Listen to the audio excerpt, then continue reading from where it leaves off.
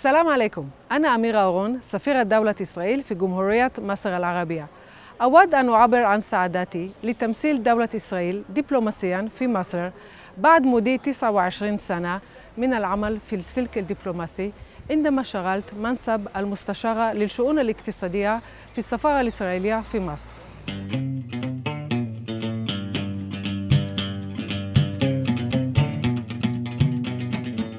كل سفير بيمثل دولته في البلد المضيف له أهميته ولكن للسفير الإسرائيلي لدى مصر مهمة إضافية ألا وهي خدمة وتعزيز السلام بشكل يومي. أنا مولودة في أورشليم القدس وعائلة والدي قدمت إلى القدس من سالونيك عام 1800 وعائلة والدتي قدمت من أورفا عام 1900 عاشت عائلة والدي في إسكندرية لفترة. أما والدي فتولد في البلدة القديمة في القدس لما رجعت العائلة من مصر.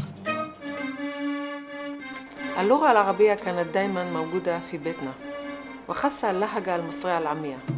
وكمان كنا بنشوف الأفلام المصرية المذاعة في التلفزيون الإسرائيلي كل يوم الجمعة. أنا اتعلمت اللغة العربية في المدرسة الثانوية ثم الجامعة.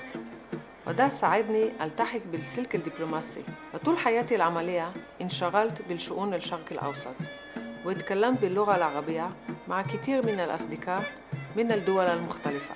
وأنا سعيدة جدا إني قدرت أجمع بين هويتي ومهنتي. من كم يوم واحدة من زميلاتي اللي بدأنا مع بعض التدريب في الخارجية فكرتني بإني قلت إن حلمي إني أبقى سفيرة دولة إسرائيل في القاهرة. والحمد لله اتحققت أمنياتي معاهدة السلام التي صنعها لنا بشجاع كل من رئيس الحكومة مناحم بيجين والرئيس أنور السادات ما حدش مننا يقدر ينساها. لأنها أثبتت على مدار أكثر من 40 سنة مدى أهمية وقوة هذا السلام. اتفاقية كامب ديفيد غيرت الواقع في منطقتنا لصالح الجميع وضمنت للشعبين الإسرائيلي والمصري التعاون والازدهار. من خلال عملي أنا دايما بتابع تطور العلاقات بين الدولتين وأكيد هذا التعاون مفيد جدا وبيساهم في استقرار الشرق الأوسط.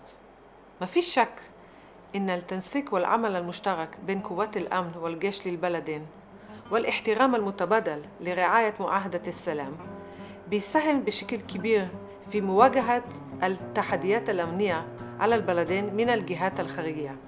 وبالإضافة إلى التعاون الحكومي عندنا أهمية كبيرة للتواصل بين الشعبين لأن ده يشكل العنصر الحيوي والأساسي للسلام.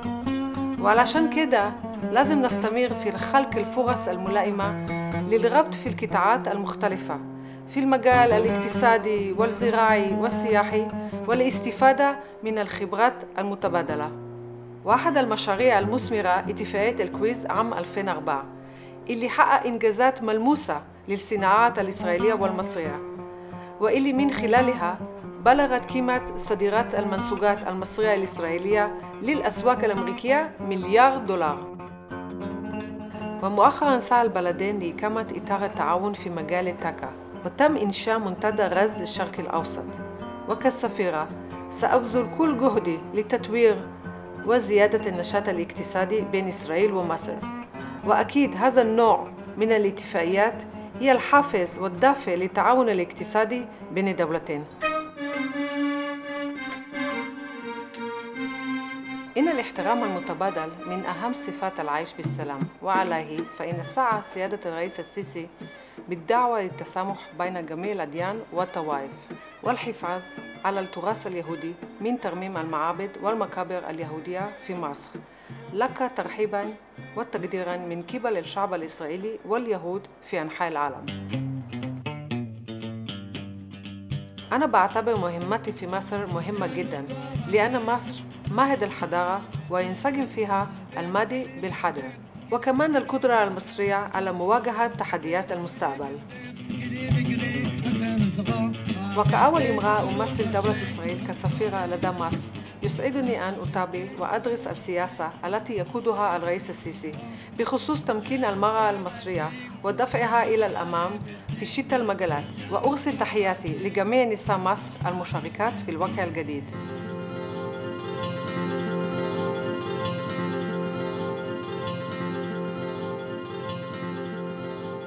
اسمحوا لي كلمة أخيرة.